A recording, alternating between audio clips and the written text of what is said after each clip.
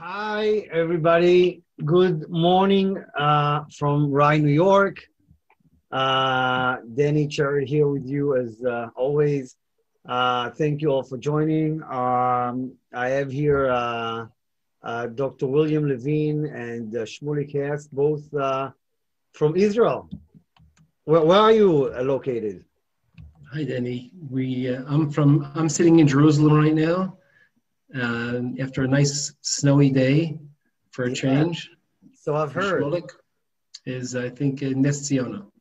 Uh-huh. So you don't have uh, snow yet, Shmulik, but uh, No. but Willie, but uh, Billy, I heard you guys have snow. I mean, we we have here in New York, and uh, wow, very nice. Um, so uh, great. So I'm, I'm having uh, uh, we're having a, an exciting discussion about uh, um, uh, cancer and improving the life of uh, um, of patients. Uh, we'll talk about that. Um, I will start by uh, a couple of words about uh, uh, Dr. Levine, and afterwards you will present yourselves. Dr. Levine is the founder and chief scientist officer of um, Izun Pharma and a well-known serial entrepreneur in the pharma healthcare system. Bill has founded multiple companies in areas ranging from uh, oncology support, oral care, wound care, and cannabis, where he was awarded the Distinguished Innovator of the Year award. Izun Pharma and Dr. Levine are currently focused on the oncology support area to improve the quality of life of those suffering from the uh, debilitating side effects of cancer therapy. He is a graduate of Columbia University School of Dental and Oral Surgery and is a diplomat of the American Board of uh, Periodontology. Dr. Levine is the author of multiple scientific papers and the inventor of over a hundred patents. Wow.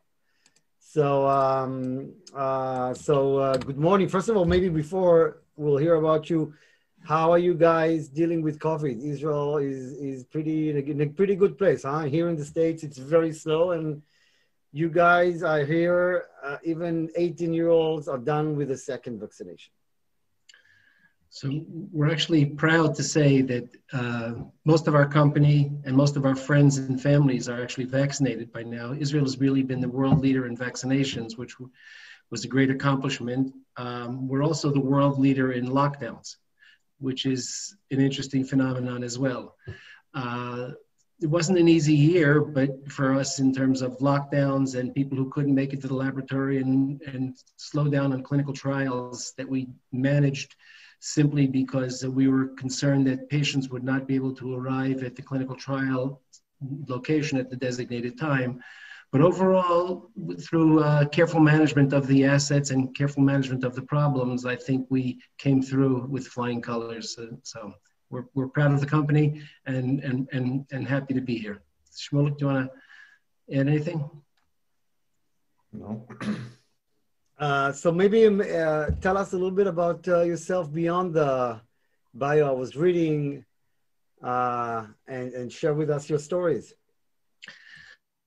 So I actually was born and bred in New York um, and uh, studied periodontal disease in uh, Columbia University and specialized, upon which I then emigrated to Israel. I set up a uh, medical practice as uh, specializing in periodontal disease, as well as an academic appointment in Hebrew University.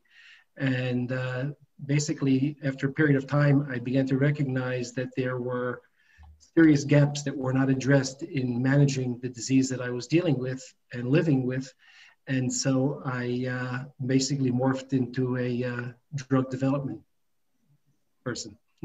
so, And and over a hundred patents. That's that's incredible.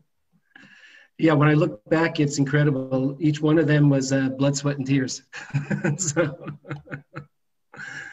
so we are also lucky, Danny, to or all the original invitation was supposed to be uh, focused on on my background, but uh, we're lucky to be uh, uh, have Shmulik Hess, Dr. Shmulik Hess, join us on the call. So Shmulik, maybe just give a little background and explain to what you're doing here, and then we'll we'll uh, we'll continue with the uh, focus. Okay, so you started from childhood, so maybe I'll start from there and then we'll end the one hour of my personal story. Um, but in, in, general, I was I was born in New Jersey, in Lakewood, New Jersey, from all places. Um, immigrated as a child with my parents to Israel. I'm a Hebrew U graduate. I spent a few years in Boston and Harvard, MIT. Came back to Israel, and since then, I've been for the last 20 years been involved in the biotech ecosystem in Israel as a scientist, up until an entrepreneur and C-level uh, positions in various companies, private and public, and currently with Izun trying to go to the next stage. Great. So maybe we should start with uh, explaining uh, the name of the company, Izun. Um, those of you who speak Hebrew know what it means, but I would love to hear uh, why you chose that interesting name uh, for your firm. So uh, yes, indeed, Izun means balance in Hebrew, as you know. And um, our goal when we set up the company was really to be able to balance having strong, efficacious therapeutic drugs with a healthy and uh, robust safety profile so we can give solutions that don't generate significant side effects. I'm proud to say we've accomplished that. And and and and I want to ask, how did you come to to uh, develop uh, um, an impressive line of uh, oncology-related drug candidates? Where did you develop the skill set and acquire that knowledge, coming from where you came from, from your specific background? So it's like a story of uh, you know some, a funny thing happened on the way to the uh, forum. Basically, periodontal disease is a relatively complex disease. It involves inflammation, it involves infection, tissue destruction, and it affects actually about 50% of the adult population, both in the US and globally. And um, I recognized the fact that there were insufficient solutions with associated side effects, and we were not really addressing the core problem of the uh, cause of periodontal disease. And so we began an altruistic research and development group with different pharmacologists, different medical doctors, myself, and, and, and others looking for that solution. And we, uh, I'm proud to say we actually found breakthrough solutions for the uh, for this for the target periodontal disease, which we're launching now. But, at the same time, my expertise in inflammation and oral ulceration really allowed us to look at a bigger indication in a sense or a more life in, impacting indication of oncology support. So the skill sets that I learned in developing drugs and solutions for periodontal care really morphed into becoming an oncology support company. Thank you. Um, oncology support, can you elaborate on that? What does it actually mean and how it helps the treatment of cancer and the cancer patients? So oncology support is really a, a growing and incredibly critical area. We all have friends, family, colleagues at work who have been diagnosed with cancer and who have gone through uh, current or, or currently going through cancer therapy. And they're all suffering from terrible side effects of a disease that they need to treat in order to continue to live. So whether it's the serious ulcerations that you have in the mouth, which you know make it difficult for you to eat and drink, associated pain, nausea, and many other symptoms which really reduce the quality of your, of your life, but at the same time, actually reduce your uh, ability to get the full dose of cancer therapy.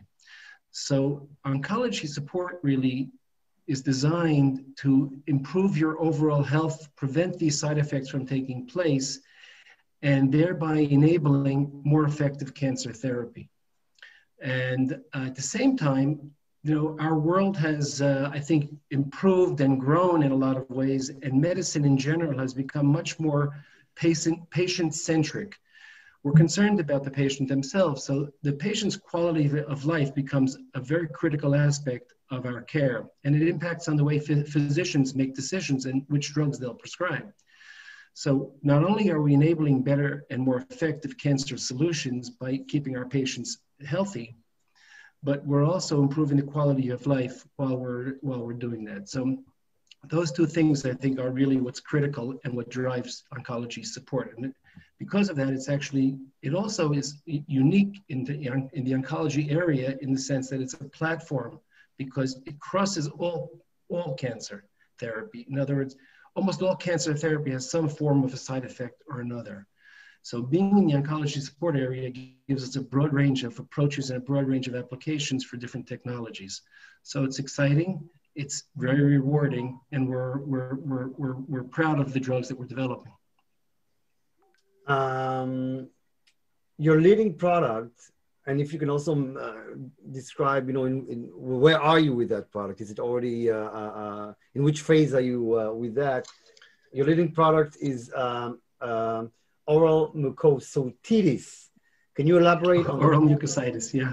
Yeah. Sorry about that. That's not my my specialty. That's uh, okay. I was once tend, we tend, the medical world tends to make these words difficult words difficult so that we can make ourselves feel more important. I know, I know, I know. It's like the mailman in in in, uh, in Seinfeld that told them that the zip code is just an it doesn't mean anything. It's just something. but uh, I was I can tell you I was just I was once talking about um, I was doing a session about how companies should approach the family office space from the stem cell world. I was speaking at a stem cell summit. I was the only guy who didn't know what any panel was talking about. So, uh, so it's not new to me to not know what I'm talking about when it comes to your area. But I'm kidding. Uh, so anyway, can you elaborate on the problem uh, this product solves and why is it so important? Sure. So oral mucositis is something that we're actually all familiar with from our from these patients who are getting therapy uh, for cancer. It's the oral ulcerations and inflammation and dryness and pain that develop in the oral cavity as a result of different cancer therapeutic drugs. So um, pretty much 35 to 50% of all chemotherapy will generate so, a very significant oral mucositis. And uh, what happens when you have that is you actually, it's, it's very, very difficult for you to uh, eat dr- and drink, uh, aside from the associated pain and, and that, that, you're, that you're experience, experiencing. So these patients then need additional care for alternative feeding methods, whether it's a PEG or whether it's an intranasal tube or whatever it is, they, they, they need some uh, support systems. And those support systems mean increased infections and increased hospitalizations. And so oral mucositis is a very critical need. In fact, it's one of the leading causes of why a physician will downregulate or change the dose of the chemotherapeutic regimen that he wants to put that patient on to allow the patient to thrive slightly better. And so he'll actually reduce what he's trying to cure. So he'll give a lower dose of cancer therapy, and then there's the chances of success obviously are reduced. Our goal really is to prevent that onset. Our, we actually designed this product to be given at the first day of chemotherapy so that we never allow the, the oral mucositis to develop and that person can sail through his drug treatment regimen uh, without any you know, side effects, hopefully, or at least with minimal side effects uh, our early data actually shows very promising results. And um, uh, so basically what I asked before is, is really where you guys are with all of that. So, so what has Izun accomplished to date in developing a, a, a prevention treatment for oral uh, mucositis? Mucositis. you just say oral, I'll fill in the rest. Okay, mucositis. I'm going to write it here. Um, so we've completed actually our trials except for the final phase three trial. We are, you know, as we've gone through the and completed the phase two trial with uh, with good success, and right now we're actually discussing with the FDA and designing with the FDA the roadmap for how do we take this product through the phase three trial and to a successful drug approval. Um, we're actually expecting to get a response from the FDA back with back and forth. They've been deliberating on a number of things now, um, sometime in March this year.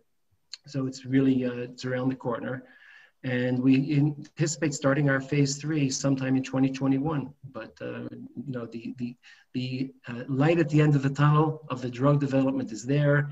We know exactly where we're going, what we need to accomplish, and what's exciting about this is there are no drugs that actually have uh, uh, that have ever been approved for oral mucositis. So being able to break through a glass ceiling like that. What's that? Why is that?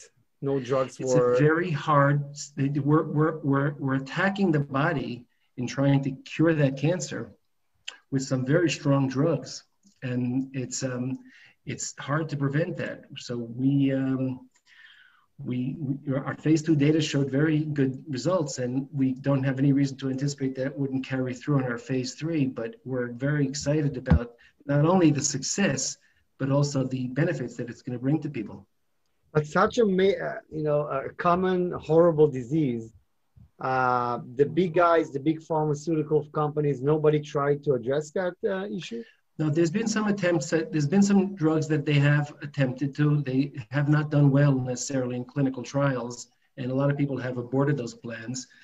But I think also um, the you know again sometimes you try to treat some of these problems with methods that cause additional problems. One of our goals, and we go back to our name Izun, was to balance the effective therapeutic with a healthy safety profile. So um, there are a lot of these drugs that are being given IV. That's not what the patient needs. Another di- daily IV in addition to the chemotherapy that he's already getting. We actually designed this product to be a very simple to use at home product where clearly monitored by the physicians, but it's a simple oral rinse five times a day, which is not a problem for these patients because they're really um, desperate for a solution. And um, it brings pain relief and it brings uh, and it prevents the mucositis. So it's it's really an exciting uh, it's an exciting possibility here. And by the way, uh, uh I'll, I will go back to our questions, but who will be paying for this at the end of the day? Do you think this will be under insurance that uh, people will be getting? Do you think, uh, I mean, who, who will be the end payer for, for this kind of drug? It's, it's a very sophisticated question, and we've already done the early foundational work looking at this. Uh, it's actually something that, um, because of the life threatening problems that develop when you do develop mucositis, the insurance agencies are, ve- are very interested in paying for its care and at a premium for the simple reason that every episode of oral mucositis, and there may be multiple through a course of therapy, will cost the healthcare system someplace around $20,000 per episode which is significantly higher than simply preventing these problems. So uh, from a reimbursement standpoint, we're actually positioned very well. Thank you. Um, so you, you, you chosen a fascinating um, uh, approach to uh, uh new drug candidates, identifying drug candidates from natural sources. What are the benefits of this approach and what are the challenges? Um, it's an interesting question, and it's a it's a philosophical question that we often address internally in, in the company. Look, botanical drugs have been uh, a historical player in drug development. In fact, 30 to 50 percent of the drugs that we commonly use today have their origins in the natural product world, in the molecules that are found in nature. And we're all familiar with some of them: aspirin, codeine, morphine, digitalis, and a, a whole range of other products are directly designed out of molecules that were found to be efficacious from the botanical world.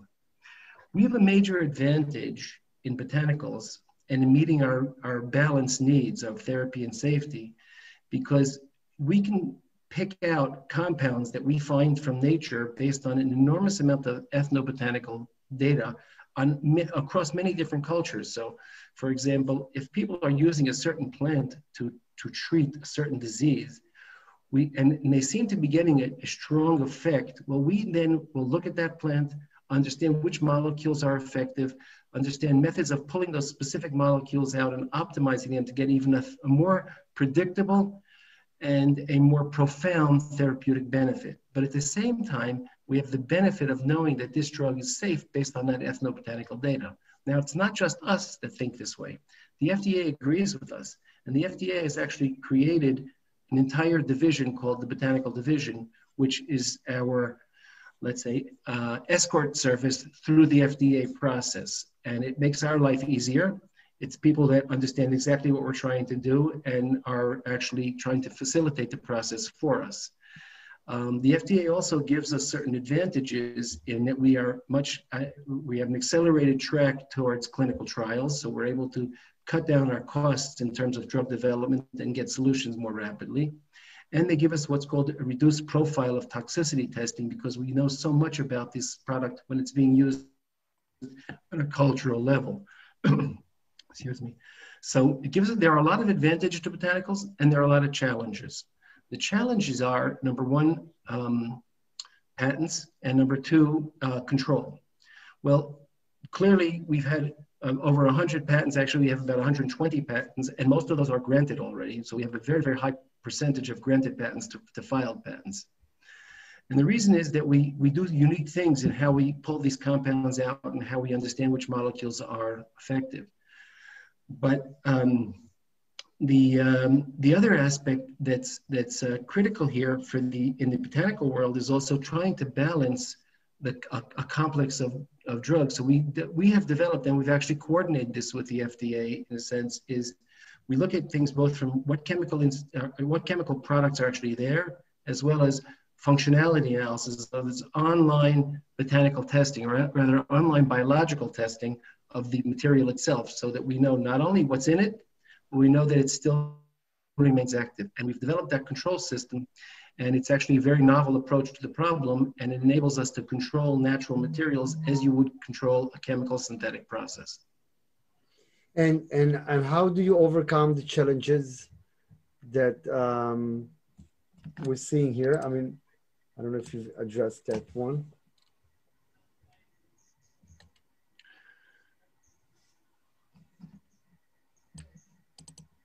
And in addition to the treatment for uh, OM, which is oral mucositis, yeah, that's good. I like it. Uh, we'll stay with OM. that, let's stay with that. Are there any other products under development? Yeah, so we actually have a very exciting pipeline. Um, we are our, our, next lead product, which has already completed its early stage of clinical trials, is something called um, VVA or vulval vaginal atrophy. Um, breast cancer, as you know, is a, terrible, uh, you know, disease, and it, unfortunately, its prevalence is growing, and it's actually the uh, I think one of the most frequent cancers that exists, but it's definitely by far the most frequent cancer in women today.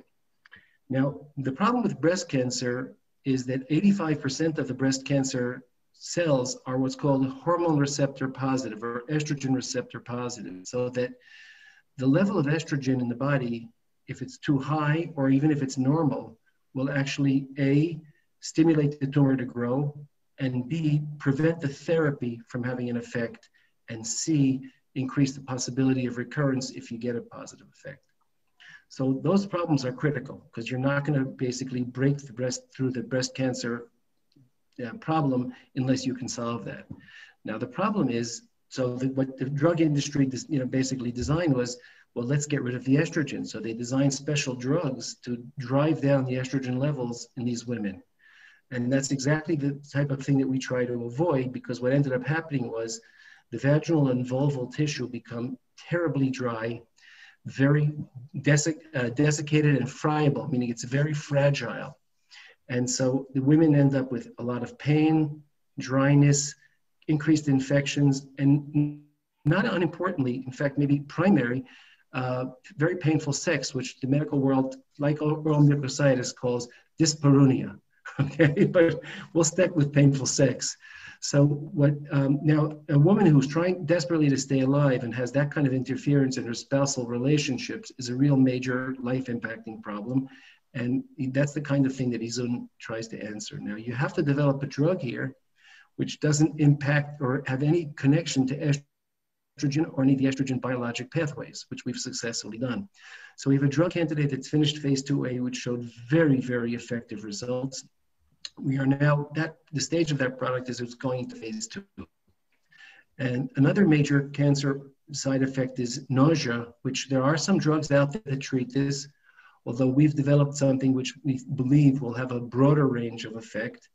Um, it's actually already an approved drug that we've modified and made even stronger. It's um, and the origin of that is actually from the cannabis plant. It's a cannabinoid molecule, which we actually make synthetically, but we, we use it effectively by binding it to a special protein syn- synthesis process, which makes it much easier to take. We can microdose this product and it gives you a, a stronger therapeutic effect. It's more controllable without the side effects.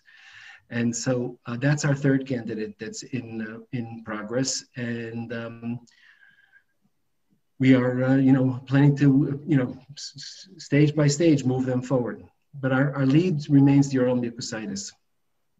I see we have some questions, but uh, I will address them momentarily. Um, what is the current status and future plans? I, I didn't hear the second part. What? Current st status and future plans. So I, I think I'm going to switch over. Shmuel, do you want to address uh, those questions? Yeah, current status and, and future plans. So current status, as uh, Billy mentioned, We've um, we've kind of uh, gone through the tedious process of back and forth with the FDA, and as, as, Billy mentioned, we're waiting upon response, which should come very within next two three weeks. And um, assuming our optimistic assumptions uh, that are based on, on, on knowledge and facts, that we will get a nod to go ahead. We plan to go ahead with the phase three. Regarding financing, so we're kind of an, at an interesting crossroad in the sense that we are rounding up around B that started a little bit a while ago, but kind of went a little bit uh, derailed because of the COVID, and now we're back on track. It was a it was set off for a 12 million dollar raise. We raised about nine million, so there's about three million remaining, and we're actually offering uh, our investors in the round B a 20% discount on the round C that will come imminently, given that we will need to raise more money going into a phase three, which of course is more expensive. So I think from that perspective, there's kind of a, a value proposition here for for investors coming in at a round B and and being able to participate in a round C, which of course will be uh, with a higher valuation as well, and uh, with a 20% discount. So kind of earning from all worlds. Thank you. Uh, maybe, uh, Danny, just maybe add one one uh, one other uh, uh, um, element here, and that's kind of trying to um, put us in space where we are compared to what. So, what can you expect from a company developing such a product uh, for OM? And as as Billy mentioned, there are no approved products, so it's kind of difficult to understand what is the value of such a company and, and where it can go. And, and I, would like to, you know, draw your attention to a company called Galera, which is traded on the NASDAQ. I think the ticker is GRTX. I hope I'm, I'm not mistaken from memory right now. And that's an interesting company because they have, they're kind of similar to us or uh, in the sense that they have their leading product is for OM. I'm not going to go into the differences. I think that in, in, in many perspectives, uh, given both products are approved, we have a better advantage because of the route of route of administration, etc. But nevertheless, it's a company that IPO'd uh, late 19 and has been trading since then uh, in the area of 280, 300 million dollar uh, market cap. So um, if we look at Izun right now with uh, with a valuation of about 30, 30 something million dollars, there's almost a 10x here uh, potential looking at um, another company that is doing more or less the same and is in the public market. Thank you. Um, I'm looking at the questions I've left, and by the time I learned to master the word mucositis, there's no question that that that has mucositis in it. So just so you know, I I did manage to, uh, to pull it uh, uh, through. So anyway, Izun is certainly, and, and I'm seeing more questions coming and we'll address them very shortly. Uh, Izun, uh, I just want to finish two more questions here. Izun is certainly an exciting company and really breaking new grounds um, in its unique approach to developing better and safer uh, uh drugs. For investors, what is the value proposition? You talked about it uh, a little bit. Yeah, so uh, maybe I'll, I think I think I just mentioned what the value proposition. I kind of um, wasn't aware that that was the next question, but um, yes, I think the value proposition here is, uh, as I mentioned, we're talking about a company with a phase three asset that is its current valuation given um, you know a compare a, a comp of a, a publicly listed traded uh, company of about 10x less. So i think that's that's the value proposition. And as i mentioned maybe repeat myself a little bit is that we are offering since we're we're rounding up the round b um, and any participant in the round b will have the opportunity to participate in the round c at a 20% discount. I think that's combined with the potential the potential here is uh, is a significant value proposition. What's the inv- minimum investment size? I don't know if you mentioned that. Yeah well yeah actually a good question. We're looking at a minimum of 50k mm-hmm. and uh, and by the way i didn't ask that before. So far who is who are the investors in the company? It was mainly families uh, private investors yes actually over the years um, we've had a group of loyal uh, quite a large group of loyal shareholders that consist of high net wealth individuals, family offices.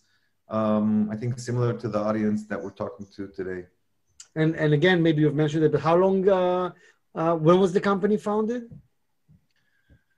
The was founded in 2001, uh, but our focus initially was completely oral care. So when that product was finished, we actually around 2010 we then um, moved into uh, oncology support.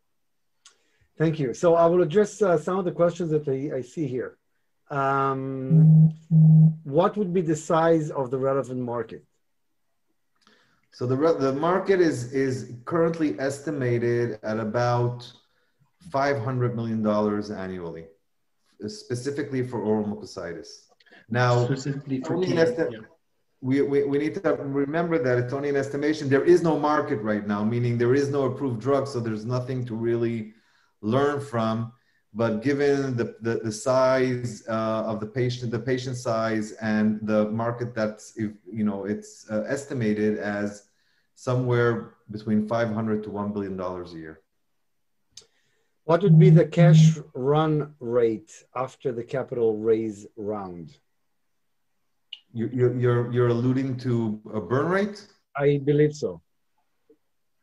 Okay, so I, am let's let's try to maybe uh, look at it from a, from a from a more broader perspective. How much would it cost to take such a product until the goal line? And um, if we, uh, you know, imagine we started tomorrow morning and we wanted to get up until marketing approval we estimate the cost between 25 to 30 million dollars going through uh, the entire process. And we all remember that drug development is expensive. However i think 30 million dollars for a phase three is actually on the low side of costs of um, you know other uh, phase three studies for other indications. Um, which okay now there's there's an interesting question here that's basically four questions um, so part one is asking what is the MOA of IZN-6N4? Um, uh, can we have some colors on the innovation used for this drug, um, like delivery mechanism? They're also asking how many uh, patents are involved in this drug. What are the expiration dates? Uh, can we have, and again, if something is too uh, technical and you want to address it privately, we can do it also uh, that way later on. Can we have more details on the phase two data for SOM, notably the statistical significance and FDA comments, if any?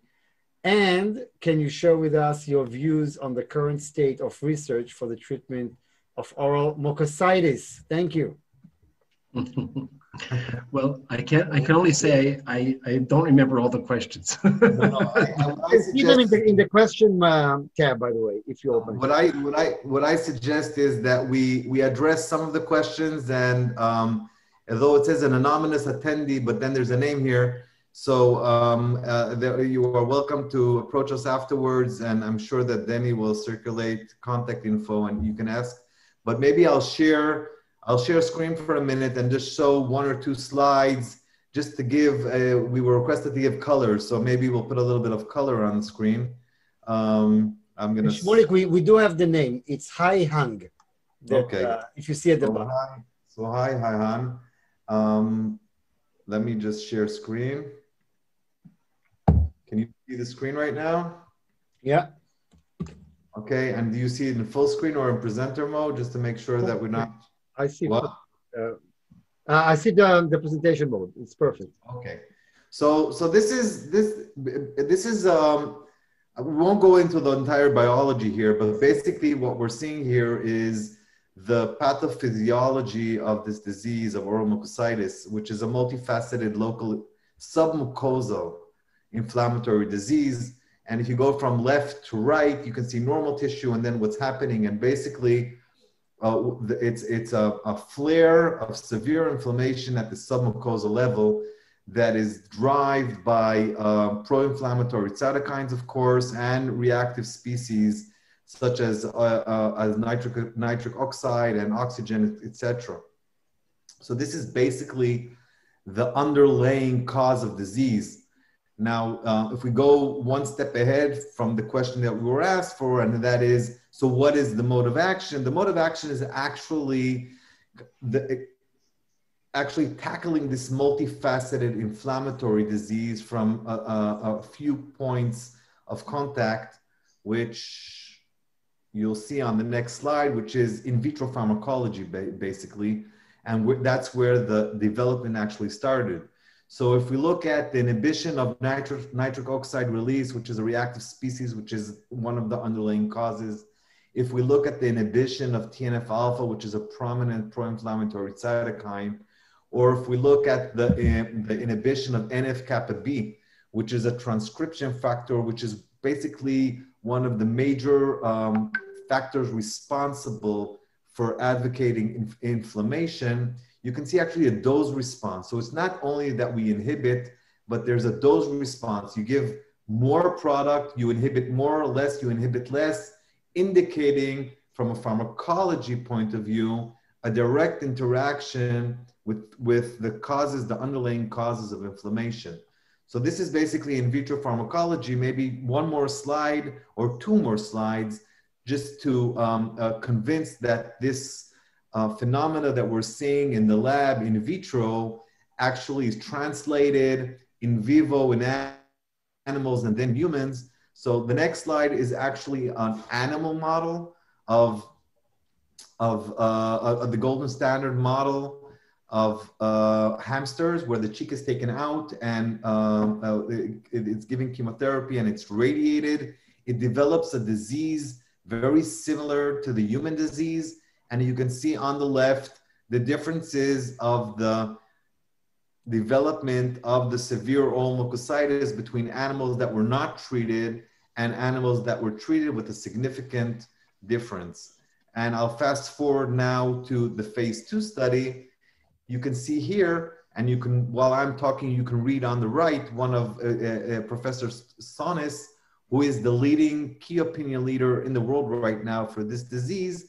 You can see on the left what happens in patients that are received the placebo versus patients that received our treatment with a 30% relative decrease in the incidence of oral mucositis. And if you're thinking to yourself, is this important is 37% a lot, a little, amazing. Then you can read what uh, uh, Professor Sonis has written on the right. But if we talked before about Galera, just to put things in perspective, a $300 market, market cap company, their relative decrease was about 34%. Um, so um, these, this is a major accomplishment of getting to a 36%. Um, that's um, i hope that we answered the questions if there are any more questions we'll be happy to answer them in more detail on a personal level um, which markets are you aiming how would you describe your target audience so we're, aiming worldwide but um, given that we're discussing um, mainly with the fda right now so of course um, the first market will be the us um, how many people? By the way, yeah, uh, uh I I understand that the uh, that the FDA is tougher than the regulation in uh, Europe. Uh, is that so or not really? I, am not sure that I concur with that conclusion. There's there's semantics maybe, but I think they're there's about four regulatory agencies that are more or less equal in, in their uh, stringency, like FDA, EMA, the Japanese, the Australian, Canadian. I mean, they're, they're all more or less similar. The FDA is a leader, an innovative leader in regulatory um, perspective. So many look up to the FDA, but I wouldn't say that they're the toughest. I, I uh, the company that mentioned that was were doing a new kind of uh, solution so, uh, so maybe they uh, they meant when it's a new, completely new area that they don't know, it's tougher maybe there than other places. Um, uh, how many people now and Ed? How many more after Series B and C? Uh, I'm not sure I understand the question. How many people now and Ed? How many investors are involved? I'm, I'm not sure I understand um, the question actually, unless you've understood. Um, I don't know if the question is about money and not people. So as I mentioned, it's a twelve million dollar rate. They're saying employees. Sorry. Okay, employees, employees were, uh, yeah, we're about I don't know somewhere around twenty employees. Uh-huh. And you and you uh, do you think you you hire more people or this is the team you need? Not necessarily. I mean, it's it's a core team, and and going into clinical trials, there's a lot of outsourcing with CROs and CMOs, and we're basically um, managing and controlling all processes with uh, subject uh, matter experts from in-house that control every aspect of the drug development and drug production and, and clinical trial, etc. Thank you. Now, any, yeah, anything else? Uh, uh, wait a minute. Let me see. I want to make sure. Yeah. Anything else you would like to add uh, Shmulik, uh, Billy, to what we've uh, to uh, to your fascinating story. I think we you covered a lot with the questions, Danny, and I personally don't have anything to add. Shmulik, do you? No, I really, really appreciate the opportunity. Yeah, thanks yeah. for inviting us. Sure. So thank you very much. Uh, as, as always, I will, I will uh, let everybody know that we will send the recording um, later on, so you'd be able to see what uh, what went on and, and, and look at the information once again. And and we will send the contact information of Izun so you can um, contact them directly. Um, we are. Uh, I will just mention to our audience that next week we have uh, again two sessions uh, on February 23rd, which is uh, next Tuesday. Uh, we will talk uh, um, uh, on the financial markets, on, um, on private credit. Uh, we will be joined by AGF Investments, I believe from Toronto, if I'm not mistaken. And on the 25th, um, we will talk about artificial intelligence and data technologies. Um, very interesting discussion with, um, uh, um, uh, I believe, an American uh, interesting company called um, uh, Pilot Wave Holdings. The guy that basically is behind it was uh, uh, one of the top names in AI, I believe in JP Morgan before, but very, very unique entrepreneur. And when it comes to what we're up to, April 22nd is our in-person conference at the rooftop of the World Trade Center. Um, uh, Larry Silverstein, one of the most impressive names, I believe, in the United States and perhaps worldwide uh, in the real estate world, uh, will be keynoting. And um, in mid June, we'll be doing our conference at the UAE under the patronage of the Ministry of Economy and with amazing partners like the Export Institute and the Israeli Tech Association and many, many others um, INSEAD and others. So um, again, I would like to uh, thank uh, uh, uh, um, Dr. William Levine, doc, Dr. Shmulik Hess. It's a doctor as well. You, we didn't put the doctor. Um, you're, yeah, sorry about that. Um, you worked hard for that. So thank you both for joining us. Enjoy the snow in Jerusalem. Um, uh, and uh, uh, hopefully we'll see you soon and in person. Sounds like a plan. Fantastic. Thank you. Bye-bye. Take care, Danny. Bye-bye.